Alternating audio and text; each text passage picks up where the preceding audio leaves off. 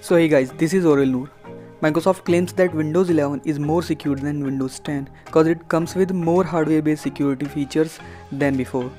And recently I have installed Windows 11 on my machine and the sad news is I lost my password and I'm not able to boot into my Windows 11 machine. So guys in this video I'll show you how we can break into Windows 11 using a pen drive. And the drive I'm using in this video is Kali Linux Live USB drive, the drive which is also known as hacker's weapon but in this video i'm not going to hack anything. I'm just bypassing my windows password. So guys here you can see this is my windows 11 machine. You can see this is logged in with two different accounts which is Aurel Noor and Javed Usaram but I forgot Aurel Noor's password. So I'm trying to uh, unlock it without using password. Here you can see this is my USB drive now put this live USB drive into your computer system and just restart it.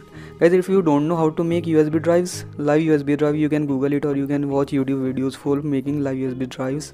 You can find easily.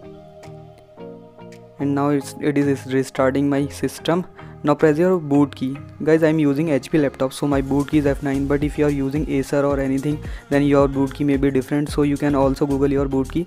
Now guys here you can see this is boot manager and now click on your drive which you are using but guys i am using sandisk so it is saying me sandisk so click on your own usb drive. In my case it, is sandisk so i'm clicking on sandisk and this is grub bootloader. And now just click on live system to boot into kali linux guys it can take some time because i'm using pen drive and my pen drive is sandisk 2.0 which is very slow pen drive. So it can take some time to boot up. So guys be patient until you see live screen of your kali linux or which your linux you want to install. You can guys also break into windows 11 using any linux but the requirement is chnt pw tool which is installed on your linux which are you which you are using. Otherwise it will not work so guys i recommend to use kali linux because kali linux is best for these things. So guys as you can see my system is booting.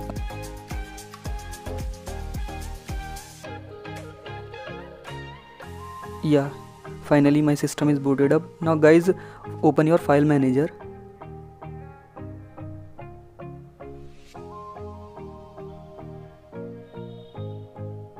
Open your file manager like this and now search for your windows partition. Guys i'm using i know my windows partition is 87 gb volume but if you don't know your windows partition then you can find one by one. And now here you can see this is windows folder. Windows partition always contain windows folder. Now open this windows folder. And now search for system32 folder inside windows folder. Here you can see this is system32 now click on your configuration folder which is named as config.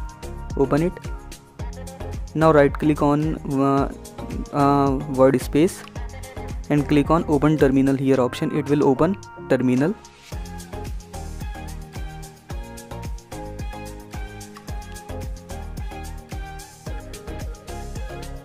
Now guys here you can see this is my terminal or console window.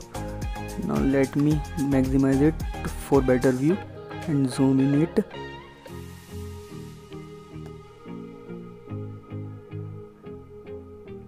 now guys you can see clearly. Guys you can also switch this video to 1440p or 4 or 1080p for better view. Now type chnt pw dash l dash sam in capital letters just like me and press enter button it is throwing error cause i'm not using sudo so type sudo here and press enter button. Guys as you can see there are multiple user inside this windows 11 so select your desired select your targeted user. In my case this is Aurel now guys type sudo ch chntpw slash u for username. And now type your username. I'm using Aurel so i'm typing Aurel and now type sam. Now guys it is showing many options here.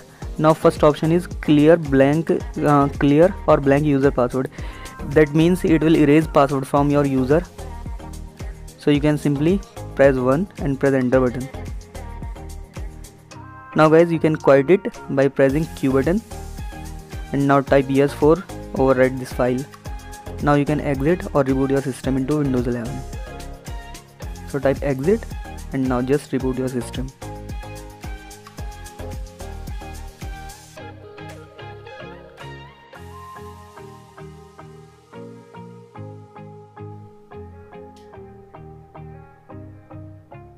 Now wait until you see Windows logo.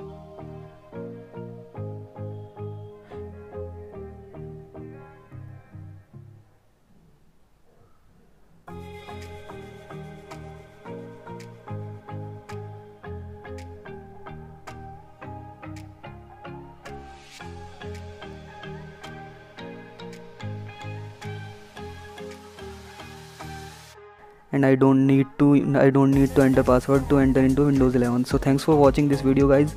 Hit like button if you like my work